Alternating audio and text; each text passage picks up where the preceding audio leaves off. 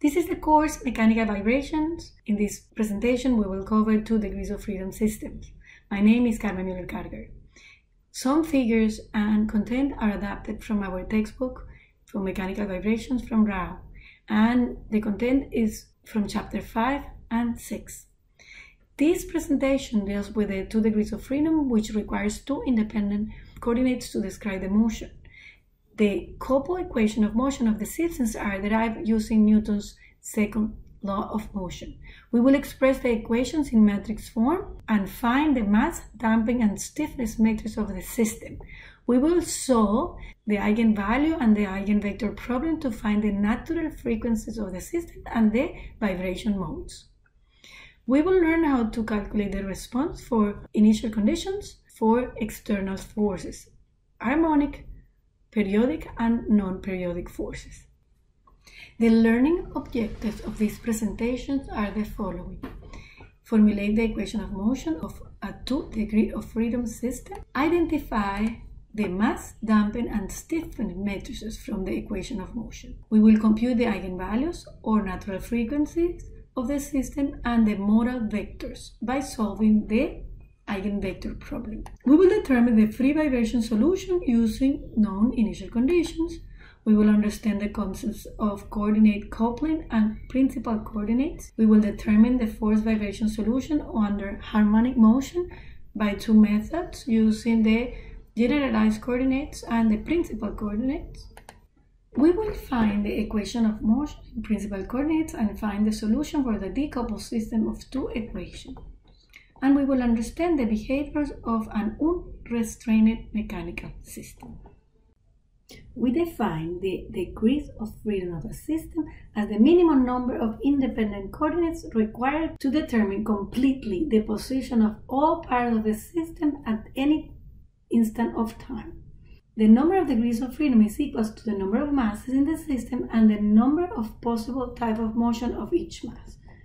Let's look at this single degree of freedom system. For example, here we have a coil that can move through this bar. The position of this coil could be described either by this angular displacement or by this linear displacement. Since it's just one degree of freedom system, we will choose only one coordinate. In this case, we have only displacement and the degree of freedom will be described by this displacement variable. Here we have only rotation, therefore the variable that we choose is a rotation variable. In this two degrees of freedom system, we have two masses, therefore we need two coordinates, and in this case it's linear displacement, so we choose x1 and x2. Here we have two disks that have mass moment of inertia, and then we need two angular displacements, theta 1 and theta 2.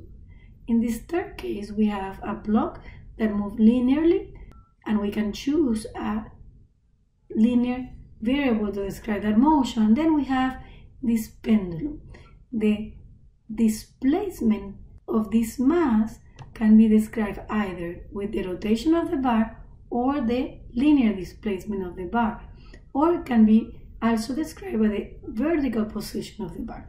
As you see, we have three possibilities, but since it's a two degrees of freedom system, we will just choose this variable that describes the displacement of the mass and either of the ones that we said that we can describe the motion of the pendulum.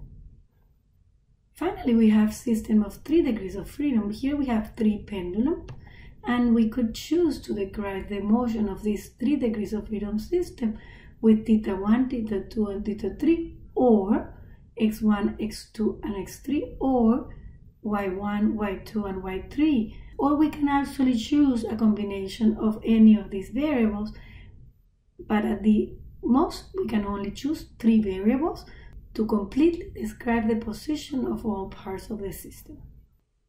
In this figure we have an automobile that can be idealized as a bar with mass m and mass moment of inertia respect to the center of gravity equals to j sub 0.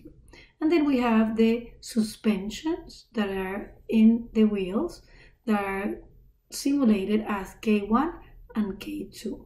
The displacement of this vehicle can be described either with the displacement of the center of mass and the rotation respect to the center of mass that we can call it pitch.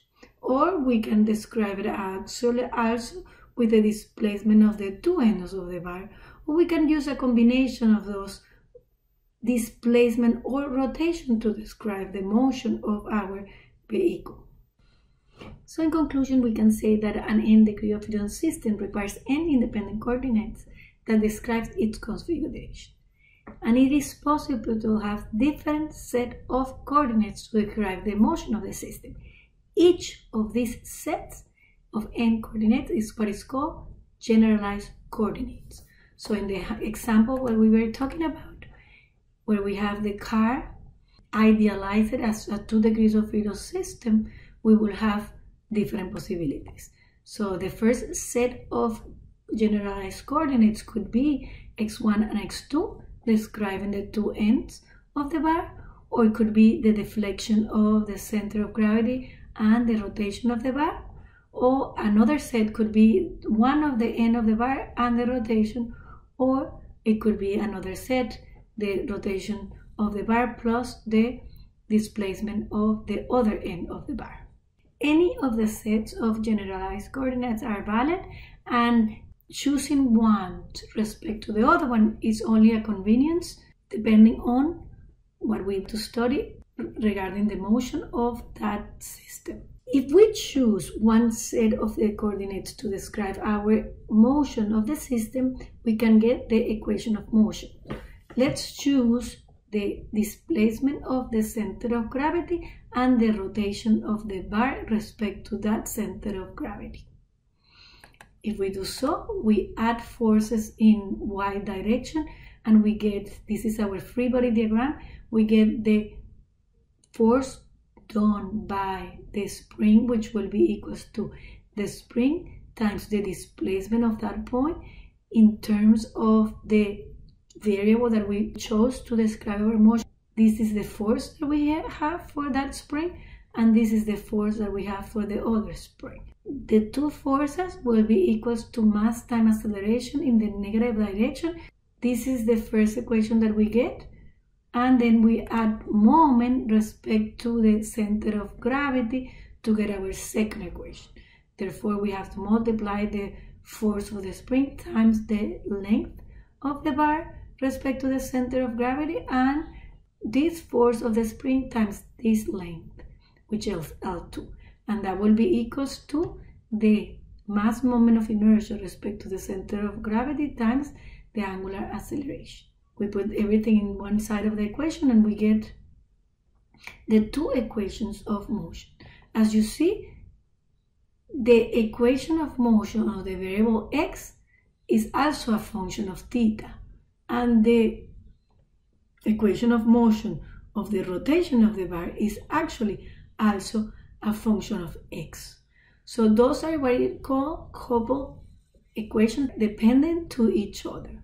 If we like to write these two equations in matrix form, we will have one matrix that multiplies the two variables for acceleration, one matrix that multiplies the two variables describing the displacement.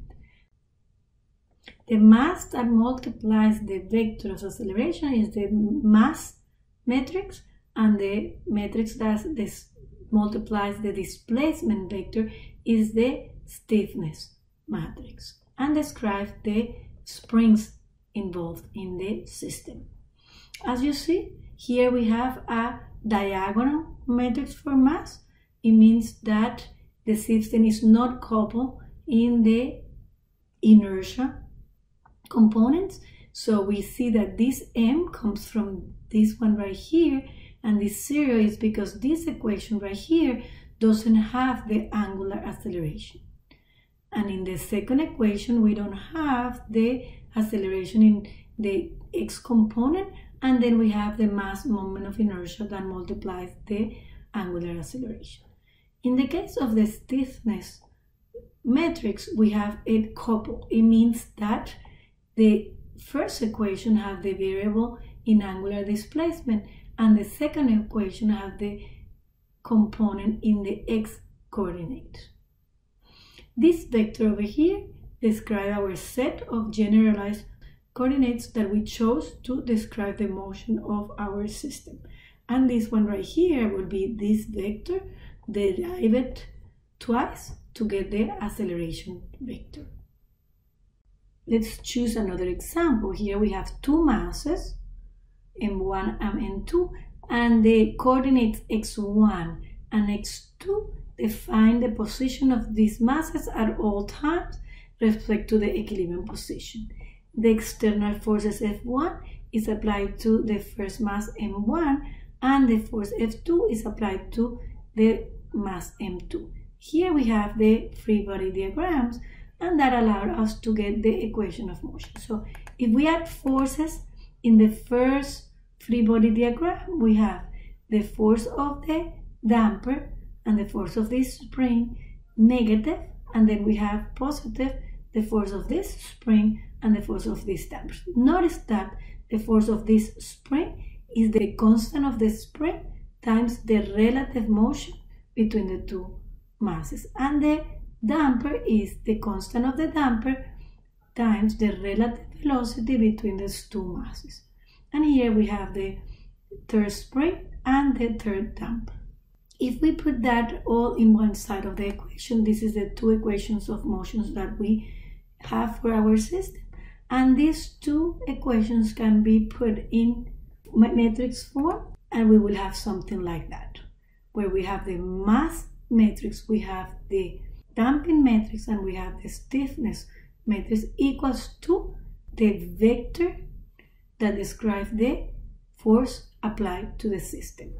Our generalized coordinates vector would be x1, which describes the motion of mass 1, and x2, which describes the motion of the second mass.